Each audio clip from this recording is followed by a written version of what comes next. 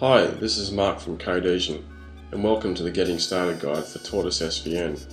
This is part one of two where I explain some basic concepts to get you rolling with Tortoise.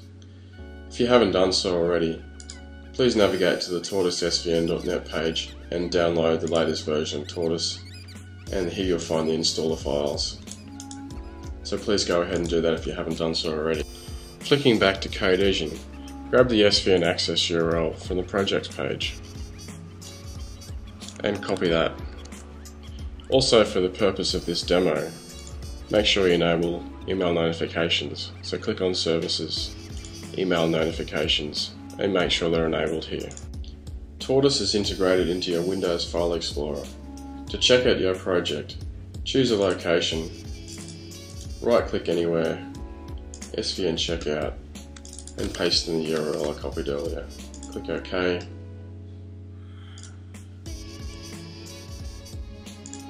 and it's checked out. A good practice to start off with is setting up your folders for your trunk, branches and tags. This is useful when we get to branching and merging in our next video. We strongly recommend you set up your repository in this way. So first, let's create the trunk. This is for your main life product. And then we create branches. This is where you write new features without disturbing the precious live trunk. And finally tags.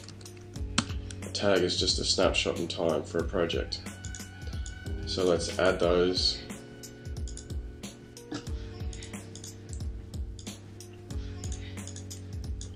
And commit.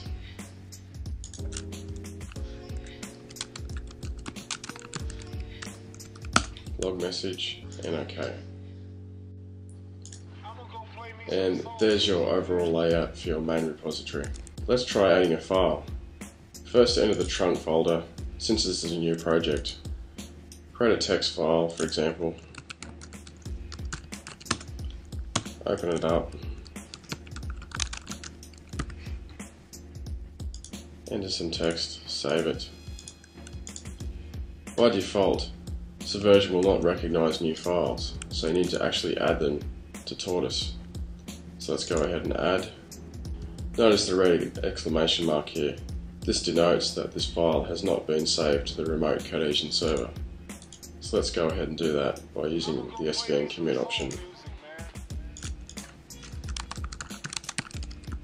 Enter a log message, click OK. Congratulations, you've just saved your first file to the remote Codesion server. Notice also the green tick here, meaning that this file is in sync with the remote side. Next, let's edit a file. I've already got the same file open.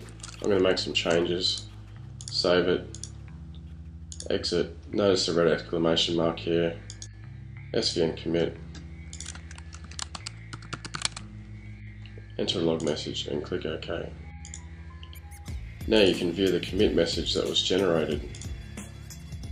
One of these will be generated each time either yourself or your colleagues commit to this repository.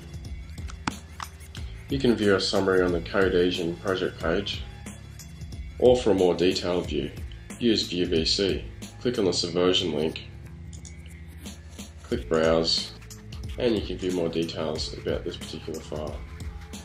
Okay, we've covered some of the very basics, but what about if your colleagues make some changes?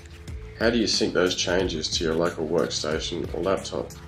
To demonstrate, I've checked out the same repository in a different sandbox on my PC. So flicking over there, I'm going to open up the file, make some changes, save that, commit,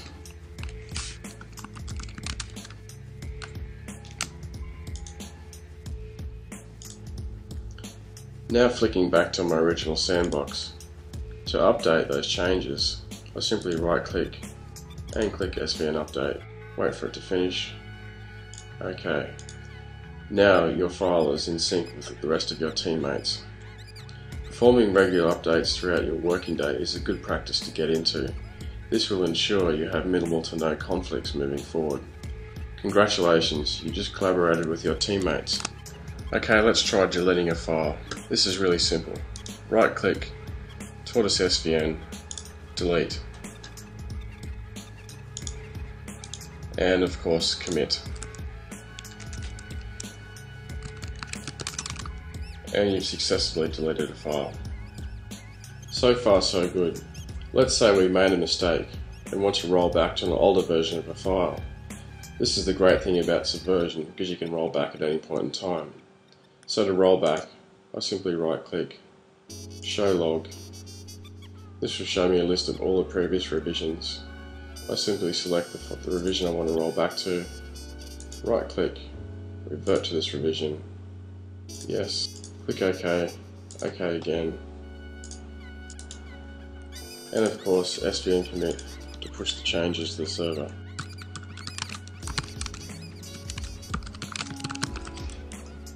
You're now ready to rock and roll with Tortoise SVN.